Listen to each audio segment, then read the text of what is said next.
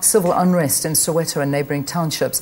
There are claims that the youth was the primary instigator, stealing from uh, the shops. Uh, what has followed is violence and looting against shops owned by foreign nationals. Yesterday, Deputy Minister in the Presidency, Buti Manamela, spent time uh, promoting tolerance, and he joins us now to discuss this issue more. Thank you very much, Minister. Thanks very much for joining us on the program. Uh, you gave a talk in Rhema in Soweto yesterday. What were those key messages you wanted to, to, to deliver to the youth there? Look, I think the important thing which we said to the young people at Rhema and uh, young people around uh, Soweto was that they need to speak out against, uh, you know, what happened last week, and that no one should do all of that in their name. And I think the majority of the youth leaders who were there, uh, you know, joined in that, uh, you know, what happened last week is not representative of what, uh, you know, the youth of, you know, Soweto represent, but also to encourage them to take advantage of government opportunities. You know, one of the things which uh, uh, you know has been said is that it's uh, you know young people who are unemployed, who are not in school, and all of that who did all of these things. But I, I in in my view, and also in my interaction with the people I spoke to yesterday, it was just pure criminality. It's mm. not xenophobic attack or anything of the sort, uh, but also uh, you know criminality which can be characterized as uh, you know Afrophobic, targeting African uh, you know, uh, uh, nationals. But I think the important thing is that you, you can't say that uh, it's because of unemployment and all of that. When you see a 14, 15 year old going to uh, loot, and I think sometimes very despicably with uh, their parents. Someone who's supposed to be in school, yeah. who their parents are supposed to be taking, uh, uh you know, to uh, to school. And we also said to uh, parents they need to take parenting back into their hands. We we can't be raising our hands in uh, despair and in defeat that the youth have, uh, uh, you know, defeated us. They've gone into rampage and all of that. So essentially let's get young people into education. Let's fight, uh, you know, the scourge of drug and alcohol abuse, which is one of the things that led to, uh, you know, the, the, the, unrest. And let's allow police to do their work. Mm-hmm. Uh, you know, if we believe there is a crime, mob justice will not take us anywhere. Yeah. Uh, yesterday, speaking, um, uh, uh, addressing the crowds, you actually went on to say that um, if you see a young child that should be in school yeah. standing in the streets, you should actually give them a hiding before you take them to school. Because because that is where they belong. Um, th- this, I think, is, is at the root of it, and a lot of people are saying this, is, is the lack of parenting, is we are not giving our youth a good example of what it is like yeah. uh, to be responsible yeah. individuals, go out there yeah. and make a better future for yourselves. But on the other hand, when the youth look at the issues that are facing them from drugs to alcohol abuse to uh, massive unemployment mm.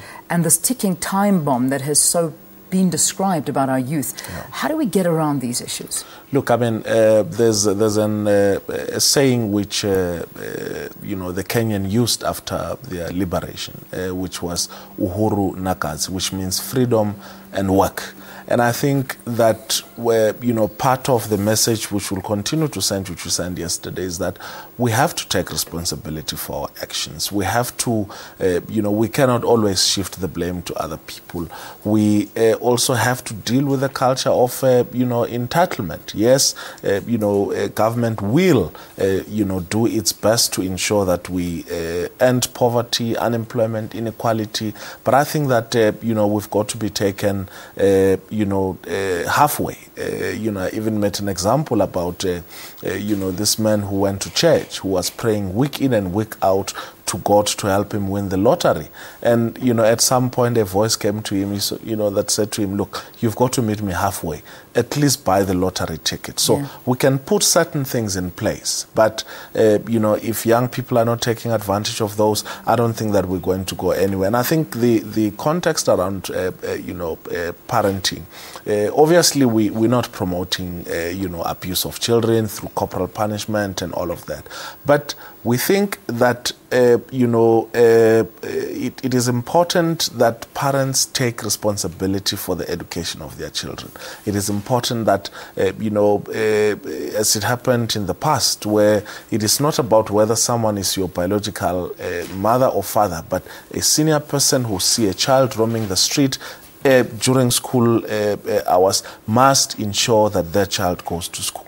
And I think that if we can start with those basics, we can actually go a long way in dealing with a whole range of, uh, uh, you know, uh, mm. other socio-economic problems. You touched on a massive word, a, word that everybody is speaking about, and that is entitlement. Yeah. How do we get away from the culture of entitlement within South Africans and within particularly the youth of South Africa? Because now, I mean, that's your your your yeah. domain of expertise. Yeah. Uh, because it is a sense of, all right, I'm going to sit here and, I, and I'm going to wait for my free home. I'm going to wait for my uh, my, my free education. Yeah. I'm going to wait for my free this, my free that. Yeah. I'm not going to go out there and work for it. Yeah. How do we get this back into the youth of this country? Look, I mean, I think the the uh, the damage that was created by the apartheid system will obviously take us a long way to, uh, you know, to, to reverse. And we've got to, uh, we, we do not have to, uh, you know, give up.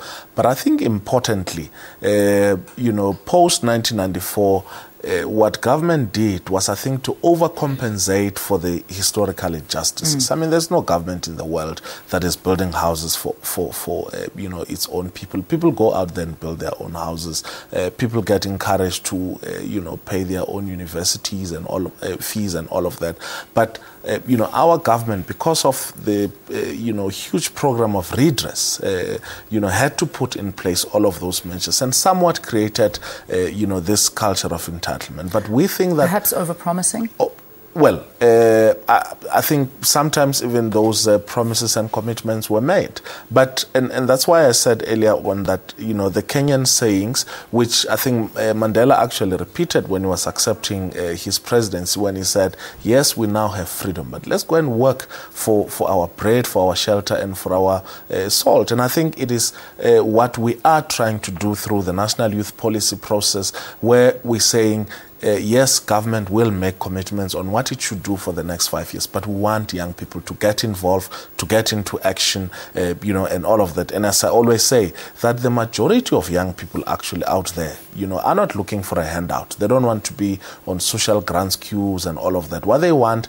is a hand up, mm. you know, a, an opportunity for them to, I mean, uh, uh, I mean, for opportunities to be open for them and for them to take advantage of those opportunities. And that's that's what we believe will, uh, you know, reverse this uh, uh mentality of, uh, uh, you know, entitlement. Mm-hmm. If you're sitting there at home and hoping that things will change, nothing will change. Nothing will come to those, uh, you know, who want to lazy around. Yeah. And we, we think that, uh, you know, we can all move this country forward if we all get involved. Let's touch on this issue uh, before we take a break. Let, us touch on the issue of universities. I want to move away from yep. the Soweto writing for yep. now, the looting, I beg your pardon, and talk about universities. I mean, last week we also had disgruntled student organizations. You very much so, I'm sure, yep. aware of the situation of bursaries and funding for students that cannot afford it. And if they are not entirely funded, they're threatening to burn down universities. Yeah. Again, here is another issue. Um, if we don't get our way, we're going to resort to violence. Yeah.